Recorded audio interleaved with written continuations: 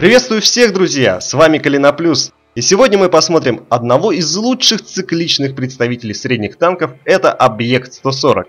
Разница между Объектом 140 и Т-62, которая вам может показаться на первый взгляд, заключается в максимальной скорости.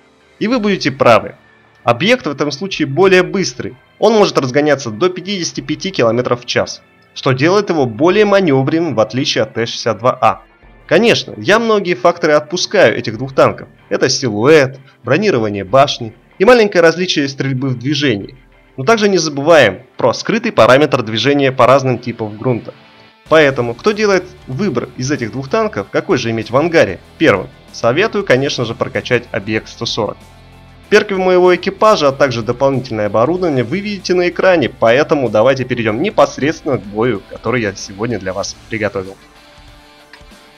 Итак, бой у нас происходит на карте Зимний Энск. В принципе, встречный бой, ничего особенного. Первым степенной задачей решили посмотреть, что же у нас происходит на горе. Понятно, так как встречный бой, там скапливается основная туча танков. И противников, и союзников.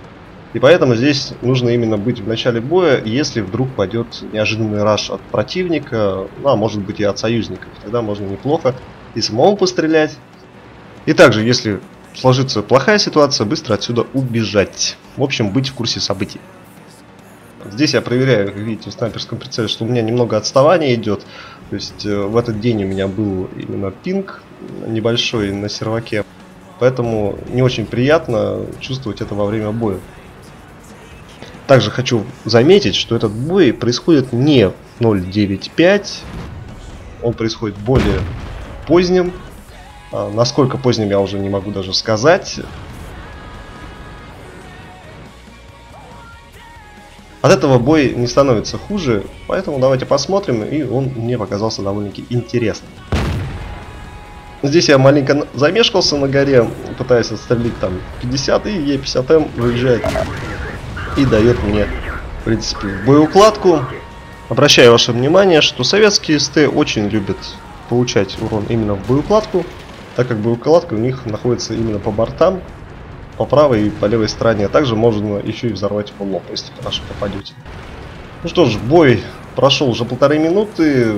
Противники собираются, но неожиданного раша мы не видим, поэтому нет смысла здесь задерживаться. Также, как вы заметили по карте, 1375 уже проехал нашей арте, именно нашего созвонника. И, конечно же, мы пытаемся спасти ее.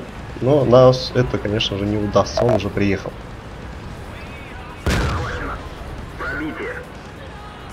Немного вправо, видите, держусь, чтобы можно было простреливать именно моему бачату взводному.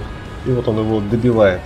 Ну что ж, теперь, так как мы знаем расположение союзников, знаем какое количество их наверху, тем более они уже вот сейчас в данный момент начали прессинг наших, надо действовать более агрессивно и уже врываться там, где нас менее всего ждут. Вот 62 у нас появился, но я участие его убить уже не приниму. Ну, в принципе, ничего страшного. Тут же выехала Вафля, начинает разряжать свой барабан. Она еще, кстати, из, из краешек торчал, мог выстрелить, но не стал рисковать. Она у нас еще шестью снарядами здесь. Вот сейчас она отстрелялась и теперь стала просто хорошей мишенью и скрыться ей негде. И она заканчивает свой путь на этом. Также видим затерявший Е50, который думает, что я на него вылечу, танкую башенкой его и, конечно же, убиваем. У него башня не такая сферическая, можно сказать, как у меня, поэтому рикошет минимален. Наступаем на Хэвика, который уже выехал и думает, что он всех здесь победил. Заметил, что он на меня не смотрит. Можно спокойно его убивать. Он пытается, я как смотрю, в башенку прострелить Е3. Что, конечно же, у него не получится. Е3 отличная башенка, которая, можно сказать, просто дурачит всех своим видом. Ну, от бочину от фугаса от ПВшки это не помогло. И Е3 у нас лопнул. Е50 там замешивался, но я решил, что пусть он там лазит. Если спустится, он умрет, тем более забрал его Наша вафля 9 уровня забрала. Так, едем на врыв противника, встречаем Ягу. Без сведения попадаем. Тут же уходим от его снаряда. Он тоже не целился. Стрельнул на вороте. Поджигаем его в этом случае, и он сгорел.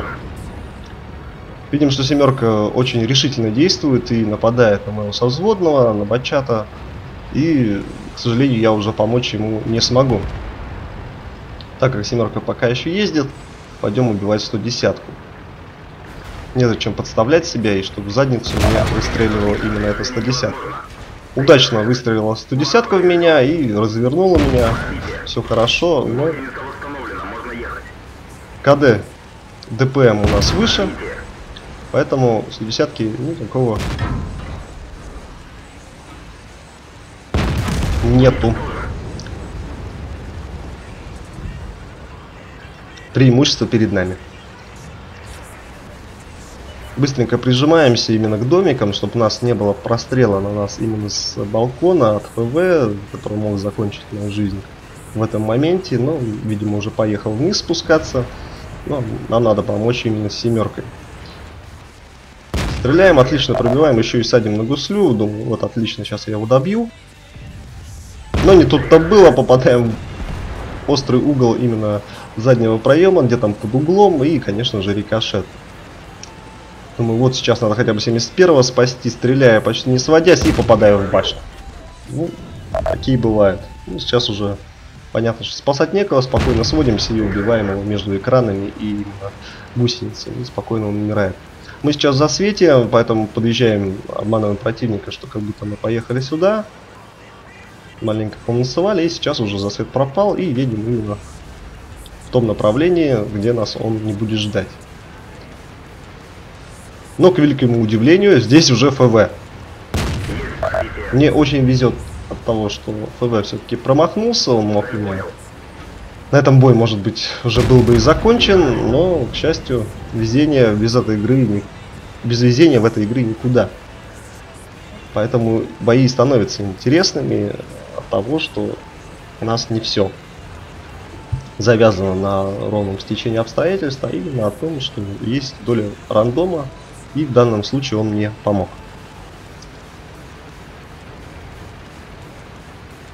Сотка довольно-таки неповоротливый танчик. Э, у него, наверное, стоит уже топовая пушка. Сейчас я для него не ваншот, то есть я могу танкануть его в любом случае. В общем, едем там, где последний раз они светились, и, скорее всего, так как это тяжелый танк и бачат, но бачат могут убежать уже. В любом случае, там быстрый танчик арта, поэтому мы едем уже туда, где нас уже возможно ожидают и могут просчитать. Заметьте, еду не справа, а чуть левее, чтобы обмануть противника, чтобы дать его за свет. Он, скорее всего, ожидать меня здесь не будет, но в этом случае никого у нас здесь не оказалось. Не еду напрямки, еду через э, именно церквушку посередине, для того, чтобы просветить центр узнать, э, мало ли бачат уже там проскакивает, либо а, та же сотка едет, поэтому спокойно едем и смотрим. Никого не засветит при этом.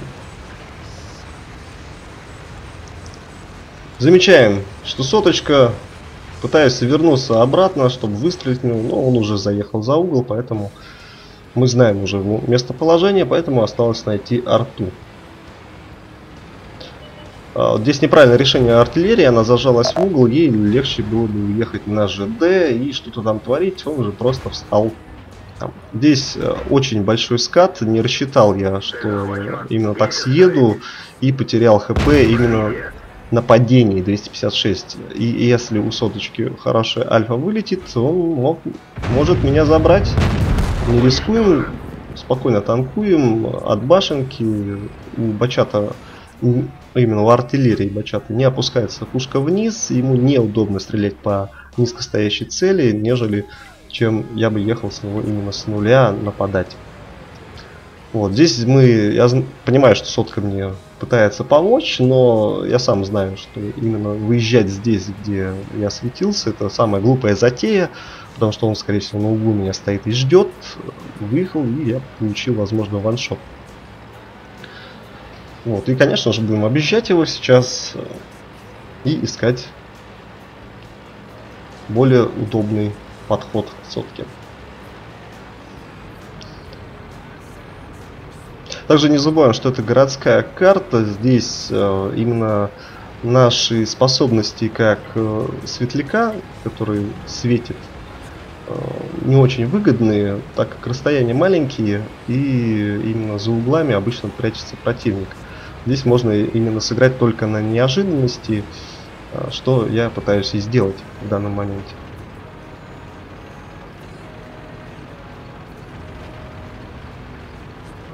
Вижу сотку, стреляю на отмах, в экран не пробиваю. Сотка, отлично, что сотка стоковая. У него пушка от Мауса, он не наносит столько мне урона, поджигает меня, и я отлично тушусь, и так выиграл этот бой.